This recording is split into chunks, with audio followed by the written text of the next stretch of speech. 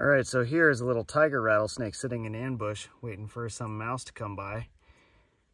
Now, these guys are really cool and actually seldom seen by people who don't actively look for rattlesnakes like we do.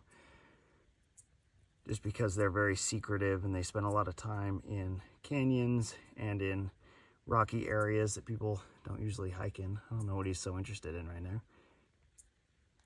A moth? What's going on, dude? You can tell, dude, it's just a moth, bro. He's not gonna go for it, is he? I don't know.